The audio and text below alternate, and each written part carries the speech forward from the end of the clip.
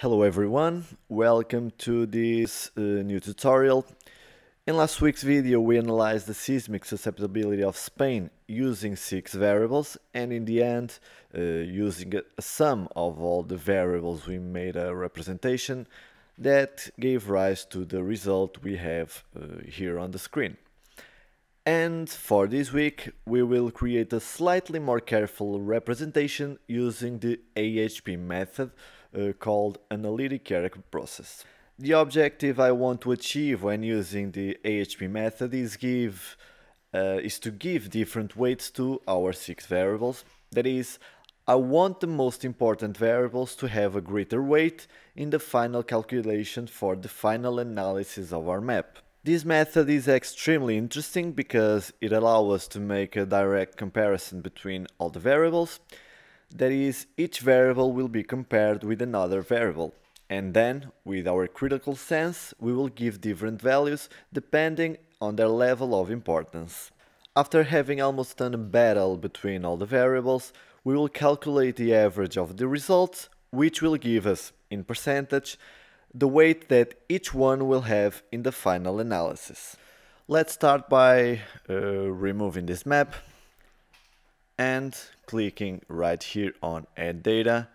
We will now import the six uh, normalized variables uh, as we saw in the last video. So uh, uh these are the ones with the prefix RC and just click on OK to import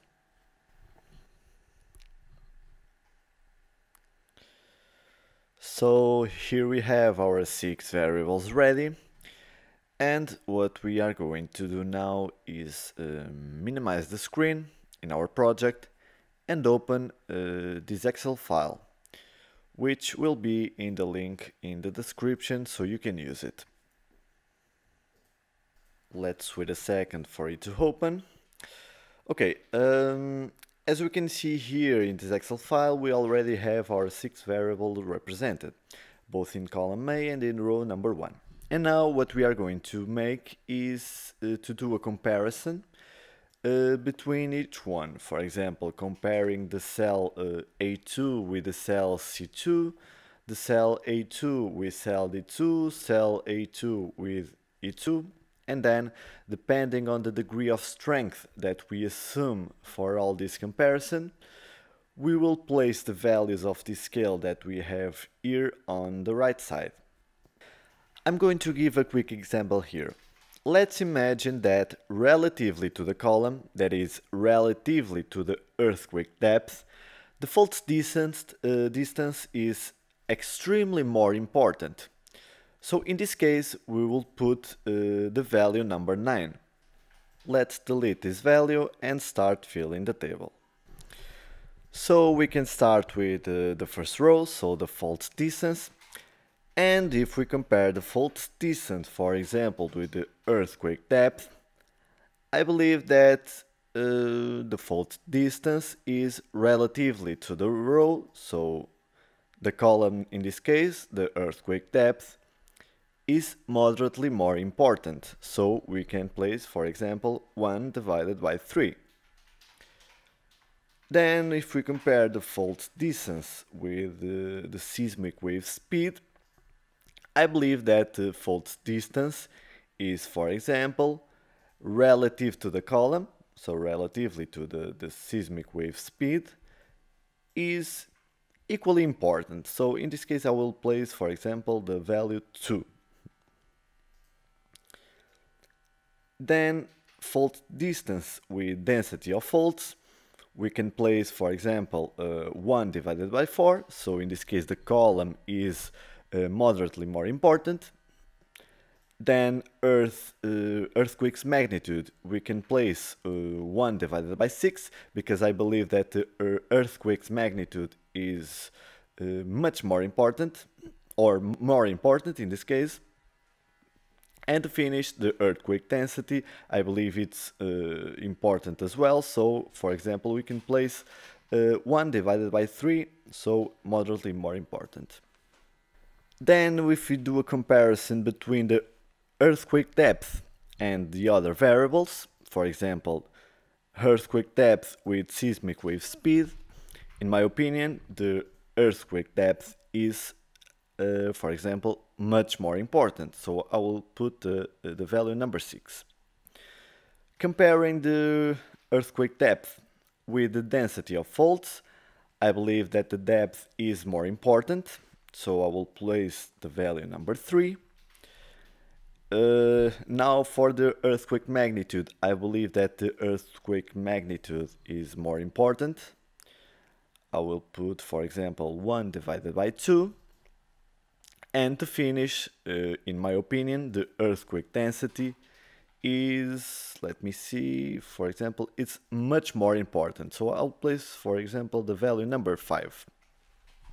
Now let's do this for the seismic wave speed, so we need to fill uh, three cells. Comparing the seismic wave speed with density of faults, I believe that the density of faults is much more important, so I'll put uh, 1 divided by 6. Uh, the earthquake magnitude, in my opinion, is extremely more important, so I will place the, the value 1 divided by 8. And to finish, the earthquake density is moderately more important, so I will put the value 1 divided by 4. Now we just need to do the comparison for the last two variables, so let's start with the density of faults. So comparing density of fault with the earthquake's magnitude, uh, the earthquake's magnitude is more important, so it's actually moderately more important. I will place the 1 divided by 4 and uh, the density of faults is, in my opinion, moderately more important than the, the earthquake density. Now to finish we need to, to compare the earthquake's magnitude with the earthquake's density and uh, in my opinion relatively to the to the column the row variable is much more important so I will place the number 6. Now that we finished to fill the first table, right here on the, on the second one we need to be sure that this sum is always 1. And right here we have the average that we are going to use as weights on our raster calculator formulas. For example, so the, the earthquake's magnitudes have a weight of 46%, the depth of 22%, uh, density of faults 15%, um, earthquake's density uh, 9%, fault distance uh, 5% and to finish the seismic wave speed will have only uh, a weight or a ponderation of 3%. Now let's uh, put this Excel file uh, side by side with, uh, with our ArcGIS Pro project so we can use these percentages in the raster calculator. So let's go to analysis actually let me fix this column first right here on Excel so it can be easier uh, to to view the the percentages and so we, we can we can know to each variable we are we are doing the analysis and right here you go to analysis then more tools I think it's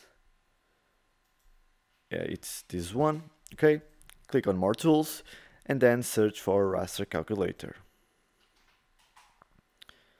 Click on this one. And now we need to start with the fault distance, so we double click on this on this one. Then we need to multiply by 5%, so in this case 0 0.05. Let me place the operator right here. Uh, close and uh, I missed the open parenthesis. Okay, then we do a sum and we choose the second the second variable, in this case the depth. So double click on depth. And then we need to multiply by 23%. So in this case, uh, 0 0.23. Close parenthesis once again. Then we do a sum and we need to do this to, to the six variables. Now it's the seismic wave speed. It's only 3%.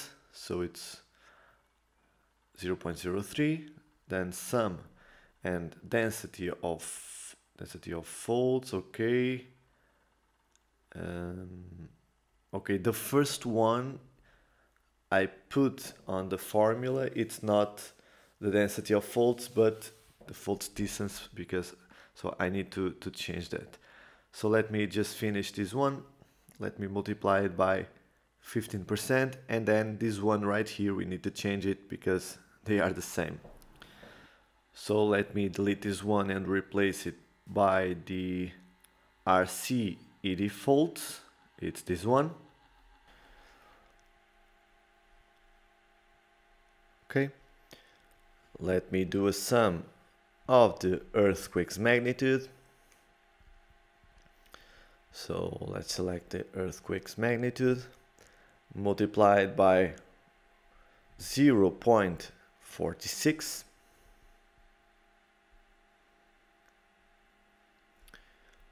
close parenthesis.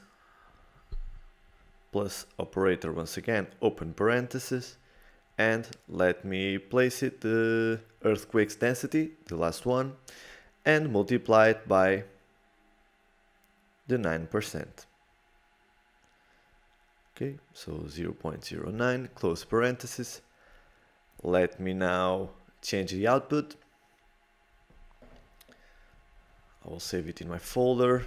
I will call it for example AHP underscore earthquakes. Let me see if okay no we need to to remove some characters.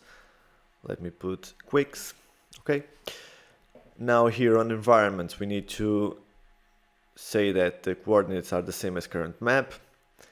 Um, for the extent, it needs to be the shapefile of Spain. So in this case, we don't have it on our project. We need to to search to search for it. Um, it's it's it's this one right here. Click OK. And now we just need to place the mask. And uh, as well, the mask is not on the project. We need to search for it. It's this one mask and uh, the snap raster is the mask as well so we need to, to search for it once again. Okay. And now we just need to click on run. There we go let's see the result. Let me just uh, delete these these rasters right here. And let me also uh, close the Excel file.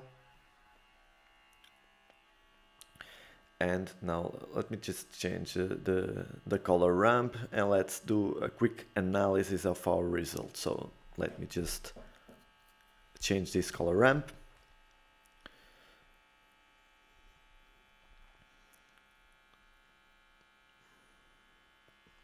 and we can see that we have the higher values of susceptibility right here on the um, on the south southeast of of Spain as well as right here on on the middle uh, near the Pyrenees as well and uh, right here on on the north northwest of of the country.